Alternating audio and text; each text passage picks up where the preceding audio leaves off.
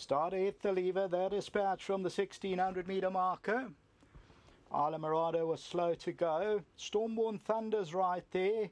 Joe Mamba is one of the trailers, along with American Princess. The widest of all is Imperial Royal, and that is trying to overcome the draw to lead it. Stormborn Thunder's right there. Through the trees is the white sleeves and cap amongst the leading group. Beljar's further back, then Flaming Desire. La Bastida's on the outside of Winter Retreat. Then comes Bint El Malak. That's giving him about six or seven lengths start. Ariana Spinner's further back in the run. Then Fire Fairy, Joe Mambo. She's a rock star, Isla Mirada, Call Me Tonight, and American Princess, 12 13 lengths off the leader. Imperial Royal, a length and a quarter as they go to the 700. Stormborn Thunders at the rail through the trees, flaming desire. Then comes Beljar, winter retreat, La Bastide on the outside. Bint El Malak Ariana Spinner's got about six or seven lanes to make up. Fire Fairy and then Joe Mambo. Top of the lane, 500 metres to go, and the leader's still Imperial Royal. Down the inside, Stormborn Thunder, Bell Jar, Winter Retreat, Flaming Desire, through the trees are still right there. Fire Fairy's trying to put in a claim, then Bint El Malak.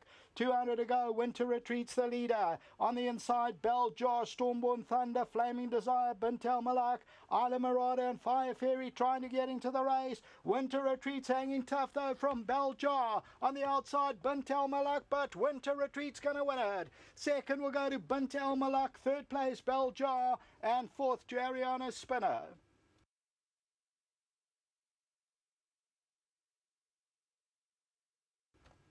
Number 12 is the winner, and that's Winter Retreat. Winter Retreat, Shane Humby, Donovan Dillon, and they're rewarded for consistency as they go on to win it. And number 12, it's win number 2 from 7. It pays up 530 and 210. Second, number 2, Bint El Malak, 4 rand a place. Third to number 6, Bell Jar, 260 a place. Fourth to Ariana Spinner, and that is number 5. It pays up 750 a place. A nice quartet on hand. Then Isla Mirada, Fire Fairy, and American Princess. Then She's a Rock Star. So Winter Retreat continues to go here. Gavin Almanza and bred by Dr. I.R. Haynes, and they continue to plug away under Donovan Dillon and the winning of race seven. There's still an eighth and last to come. Back to the studio.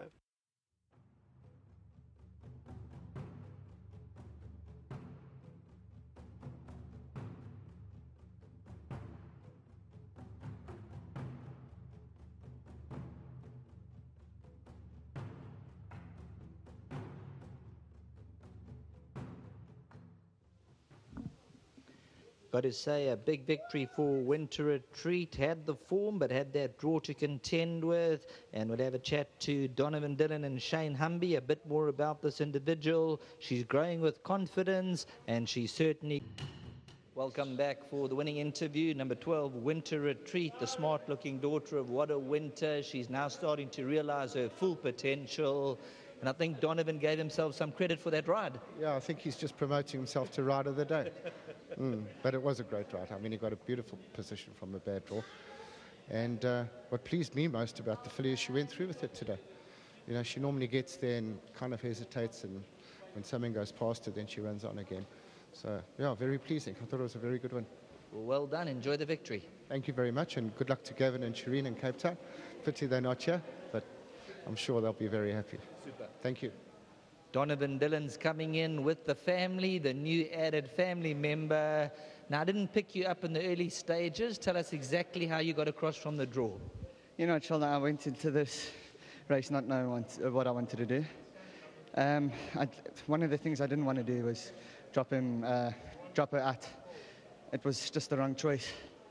I elected to ride her as she comes out. She pinged the gates nicely. We filtered into a beautiful position, and. Uh, when the nice thing about this filly now that she's got a bit more confidence. is She's running through with her races, whereas when she was a little bit younger, she, you could only sort of get there on time. And today, she quickened well, and uh, she fended off nicely, and she won a good race. Well done with the ride. I'm going to watch the replay closely, and there's two up for ride of the day, so we'll see who gets at the end of the day. Thanks, Sheldon. Just a very big thanks to um, Shane and the whole team, Kalinda, all of them, and then to Mr. Almanza for keeping me on this filly uh, really appreciate all the support. Well done. Thank you. Well, there we have it. And then Warren Inferno is going to hand over the thousand rand token. And the winning groom is Virendura Dlamini. Virendura Dlamini, he gets a thousand rand token. And we got one race left on the card. Race number eight, the lucky last. We'll catch you shortly.